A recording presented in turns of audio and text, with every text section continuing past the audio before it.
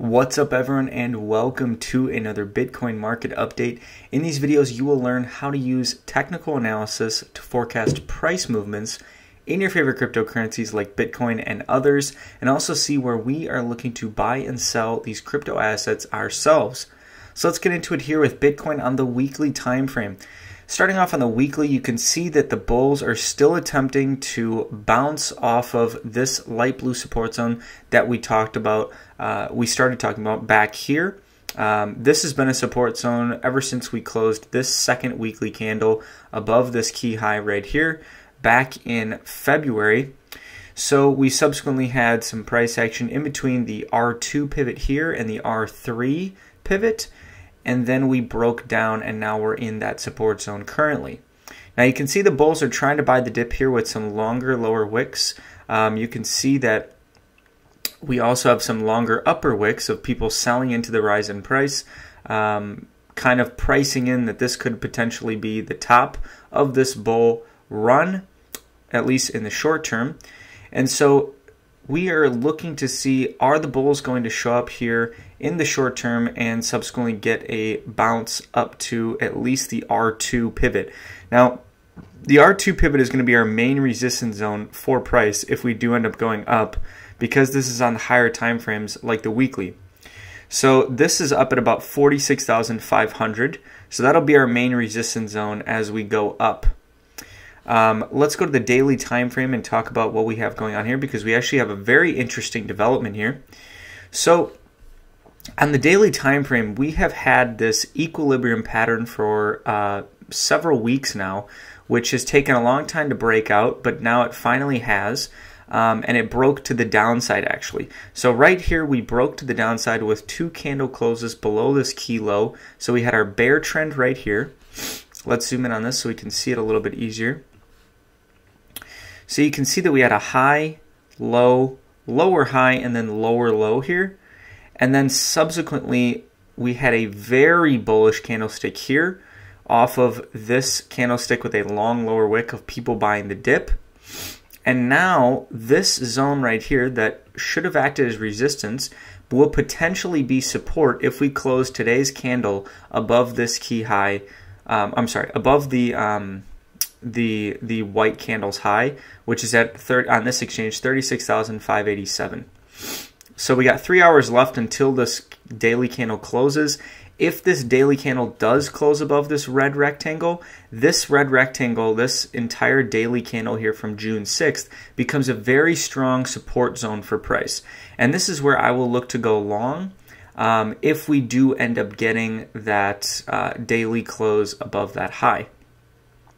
So we'll see what we end up getting. Um, but right now, um, the target for this, if we if we do end up getting that candle close above, um, we could go long on the the body of the candle right here, which is right around 35,786. We could put our stop loss below the the red zone here, which is a pretty tight stop loss, and then subsequently we can take that up to our pivot level here, our daily pivot, which is right around 42K. And the reason for that is because we'll already have tested this gray zone uh, once, and then this will be the second test of that. So um, that zone is getting weaker with each subsequent test. And so uh, the third test of this will probably we'll probably see uh, the price action go right through that. So that will be our next resistance zone would be that pivot. After that, on the daily time frame, it's really this gray zone up here. And this gray zone is actually coming from the three-day time frame. So if we look at the three-day, um, this is the resistance zone that we currently have from back here. So you can see this black candle right here where we had a bounce, bounce, and then push right through it. So this should be resistance on a retest, and this goes from about 47K up to about 52, uh, 52,600. Um, on the three day time frame, we've pretty much just been making uh, lower highs and lower lows, but we haven't really gotten candle closes below the lows to really um, continue the downtrend here in price. If we look at the RSI, um, you can see that you know the RSI has been following it as well, with us making um, we did have right here, we had a bullish divergence because we had a low and then a higher low. But if we look on the RSI, we made a lower low. Um, and subsequently, that didn't really play out very much. We didn't have uh, much bullish price action there. But you can see now we're starting to get this increasing bull volume here, which is good news for the bulls. So the bulls are going to need to show up. Let's go to the four hour time frame and talk about a trade that I talked about on our Telegram channel. Uh, and if you're not on our Telegram channel, you can join that for free in the link in the description below. So this is a trade that I talked about yesterday. There was this white candle right here. So this should have been resistance when we came into it here, but you can see we pushed right through it and closed above it. And so as soon as we closed above it, when you retest that zone right here, we retest it, boom, we get this really nice bounce.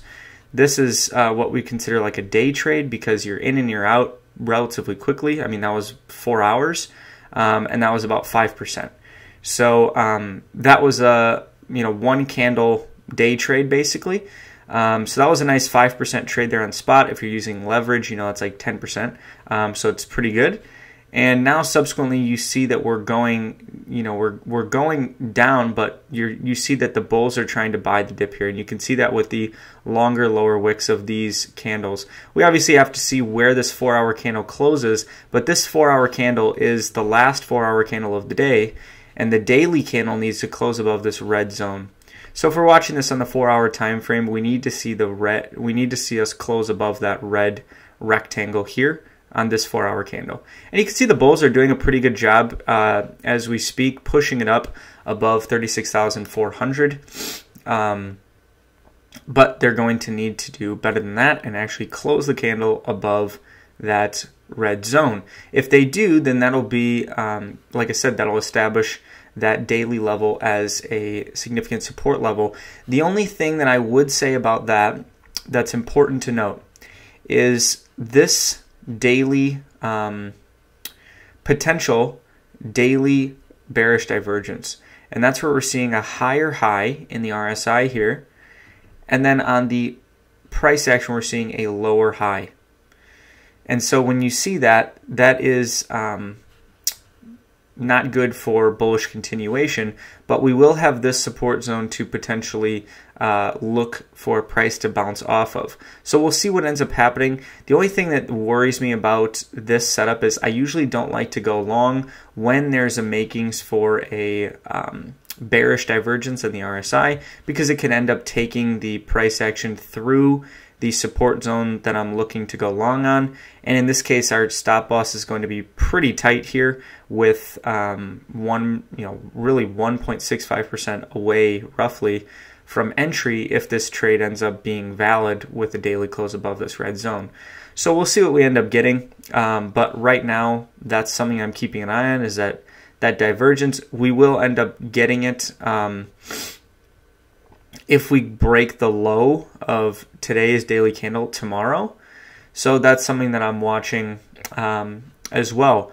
So that's really all I got for this one, guys. If you like this video, give it a like down below and subscribe for future educational content around cryptocurrency and blockchain technology. And if you haven't already, check out our beginner technical analysis course that we released on leutheria.com. Um, actually, I just remembered um, our website is having some difficulties right now with the beginner technical analysis course, so maybe hold off on looking into that for today. Um, but hopefully that'll be up, back, and working again um, tomorrow or the day after, and uh, I'll fill you in on the daily videos. Um, but uh, in the meantime, join the Global Leutheria Community Telegram channel where you can connect with members from around the globe, talk about cryptocurrency, blockchain technology, uh, trading, investing, different projects, news, um, and a ton of other stuff, and really get closer to achieving your goals through a community learning experience. Until tomorrow, onward and upward.